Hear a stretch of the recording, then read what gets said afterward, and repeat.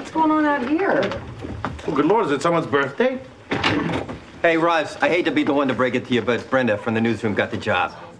Brenda? Oh, Roz. It's total BS. Listen, uh, if you need a little comforting later. Hey, Brenda, all right, later. I'm there for you. Roz, I'm so sorry. Oh, hell, I'll be okay. Guess I better go congratulate the winner. Right. Beep. Did you hear what happened to Roz? Yes. No need to thank me, darling. What, what are you talking about? I spoke to the station manager. I told him just how you'd feel if he gave Roz the job. You did what?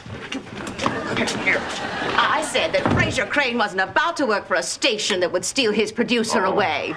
A bluff, of course, but it crumbled like a God, matzah. how could you? Well, I told you that I hate to lose Roz. I didn't mean for you to sabotage her. You didn't? Oh, no. What a horrible misunderstanding. Wink.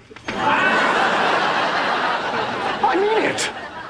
Oh, I, I, I see. So, when you said in that offhanded way that you hoped that Roz wouldn't get the job, I totally misinterpreted Oh. you. Wink! Will you stop winking? My God, I could never want such a thing. God, maybe there's some way I can still still reverse this.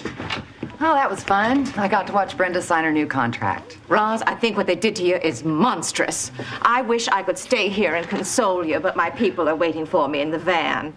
I hope someone cracked a window.